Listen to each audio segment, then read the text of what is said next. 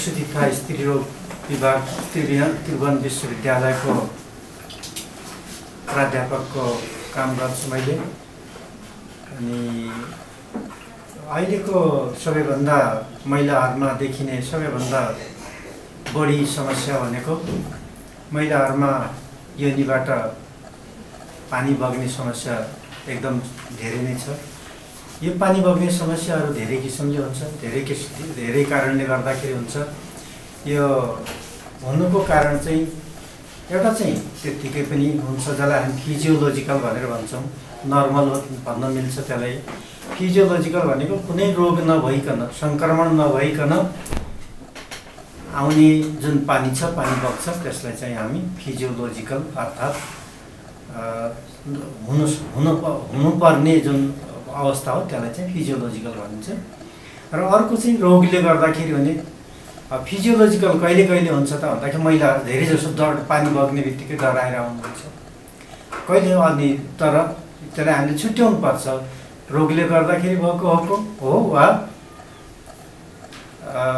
बिना रोगले भएको हो भनेर थाहा पाउनु पऱ्यो रोगले नभएको पानी कहिले बग्छ त भन्दाखेरि जहिले जहिले महिलाहरूको शरीरमा एस्ट्रोजेन भन्ने हर्मोनको मात्रा तलमाथि भएर जान्छ घटबड भएर जान्छ। त्यति बेला चाहिँ महिलाहरूको योनिबाट अलिकति बढी पानी त्यो पानी बग्छ। कहिले कहिले त्यो हर्मोन गडबड हुन्छ भन्दाखेरि एउटा त बच्चा नव नवजात शिशुको पनि त्यस्तो हुनसक्छ। नवजात शिशु जन्मिने बित्तिकै पेटमा हुँदाखेरि आमाबाट एस्ट्रोजिन भन्ने हर्मोन पाइरहेको हुन्छ जन्मिएपछि त्यो आमाबाट छुट्टिएपछि त्यो हर्मोन आइराखेको हुँदैन। त्यसैले सानो जन्मिने बित्तिकै बच्चाहरूको अरूको पनि रगत मिसिएको पानी आउन सक्छ। त्यो चाहिँ नर्मल अर्को अब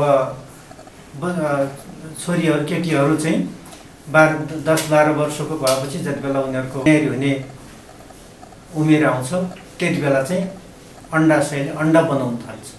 त्यो अन्डाहरू बनाउने बेलामा त्यो अन्डाशयबाट नै अन्डा अन्डाशयबाट त्यो हर्मोन निस्किने भएको हुनाले त्यति बेला उनीहरूले अलिकति मेरो त गनाउने पानी आयो भने तर त्यो गनाउने होइन कि त्यो उनीहरूको लागि नौलो भएको हुनाले त्यसलाई चाहिँ गनाउने पानी बग्यो है भनेर भन्छ। यदि चिलाउँदैन समस्या रगत मिसिएको छैन भने हामी त्यसलाई के पनि नगर्नुहोस् भनेर रिएक्सन उनीहरूलाई बुझाएर पठाउनु पर्ने हुन्छ। होइन अब त्यो गन गन आउँदाको सँगसँगै त्यसमा पिप जस्तो मिसिएको छ छिलाउने पनि हुन्छ भने अनि त्यो रोगको कारणले हुनसक्छ है भनेर हामीले बुझ्नुपर्ने हुन्छ त्यसपछि अब बच्चा पाउने उमेरको महिलाहरूमा यो सबैभन्दा बढी हुन्छ कहिले हुन्छ त महिनारी सुरु भएको बाह्र तेह्र चौध दिनमा अर्थात् जति बेला महिलाहरूको अन्डाशयबाट अन्डा झर्ने बेला हो त्यति बेला उहाँहरूको अन्डाशयबाट हर्मोनहरू धेरै निस्किने भएको हुनाले त्यसले गर्दाखेरि पनि पानी अलिकति त्यति बेला बढी बग्छ। र यौन सम्पर्क गर्दाखेरि पनि सेक्सुअल स्टिमुलेसन भन्छौँ त्यो यौन उसले गर्दाखेरि त्यति बेला पनि बढी पानी बग्छ। त्यो पनि एबनर्मल होइन नराम्रो होइन। अर्को प्रेग्नेन्सीको बेलामा यो हर्मोनहरू सबैभन्दा बढी हुन्छ। त्यसले गर्दाखेरि प्रेग्नेन्सीको बेलामा पनि अरू बेलाको भन्दा बढी हुन्छ। र महिलाहरू जसले हर्मोन परिवार नियोजनको लागि हर्मोनहरू प्रयोग गरिराख्नुहुन्छ एस्ट्रोजिन भन्ने पदार्थ अर्थात् ज जसलाई हामी नि निलोकन चक्की भन्छौँ तिनीहरूमा पनि त्यही हर्मोन भन्ने भएको हुनाले उहाँहरूमा पनि अलिकति बढी पानी बग्ने हुन्छ। यी सबै कारणहरू हामीले फिजियोलोजिकल अर्थात् रोगले नहुने खालको पानी बग्ने। र अब रोगले बग्ने कारणले के हुन्छ भन्दाखेरि यदि सेतो खालको सेतो दही जस्तो पानी बग्छ या पहिलो पहिलो फिजा आएको जस्तो पानी बग्छ या पिप जस्तो पानी बग्छ भने हामी त्यसलाई चाहिँ रोगले भएको हुनुपर्छ है भनेर हामीले शङ्का गर्छौँ। अब त्यो पनि थुप्रै किसिममा अघि मैले भने या चाहिँ अब रगत मिसिएको रहेछ भने क्यान्सरको कारणले गर्दाखेरि पनि फोहोर पानी बग्न सक्छ। अब महिलाहरूमा चाहिँ यो जुन अघि सङ्क्रमणले गर्दाखेरि भन्यो यो सङ्क्रमण भनेको पनि एउटा चाहिँ हामी फङ्गल भन्छौँ ज ढुसी पनि भन्छौँ सामान्य भाषामा भन्यो भने ढुसी भन्न सकिन्छ फङ्गस भनेको। फङ्गसले गर्दाखेरि हो भने सेतो खालको दही जस्तो पानी बगेर आउँछ चिलाउँछ त्यसरी। अनि त्यो चाहिँ कसलाई हुन्छ? मोटो महिलाहरूलाई हुन्छ जसले हाइजिन मेन्टेन स्वस्थ स्वस्थताको चाहिँ गर्दैनन् उनीहरूलाई हुन्छ। पेन्टीहरू नफेर्ने त्यस्तोहरू महिलाहरूलाई बढी हुन्छ। र अर्को जसले जसलाई डायबिटिज भइरहेछ त्यस्तोहरूलाई हुन्छ। र अर्को हामीले धेरै भइराख्यो भने कहिलेकाहीँ एचआइभी भएको महिलाहरूलाई पनि यो समस्या चाहिँ अलिक धेरै नै हुन्छ।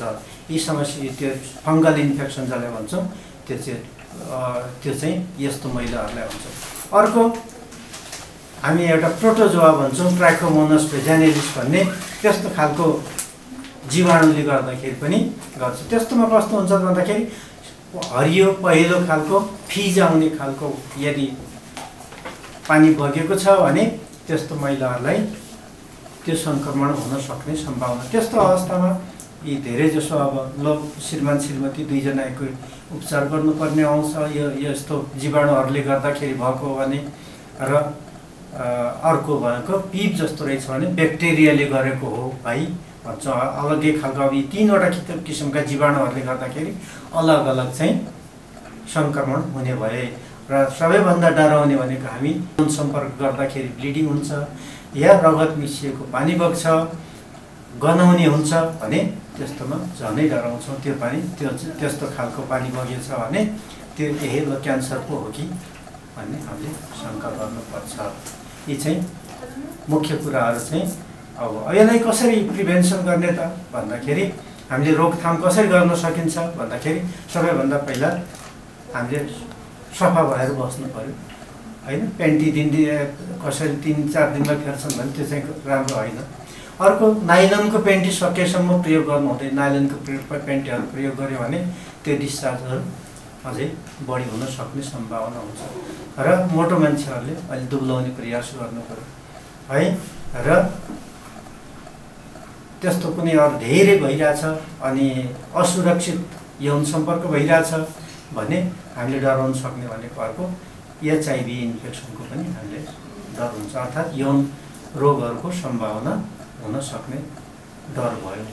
स्वास्थ्य सम्बन्धी यस्तै विविध जानकारी लिनुको लागि हाम्रो च्यानल सब्सक्राइब गर्न नभुल्नुहोला। नोटिफिकेसनको लागि सँगै रहेको बेल आइकन पनि थिच्नुहोला। तपाईँहरूको दिन शुभ रहोस् धन्यवाद।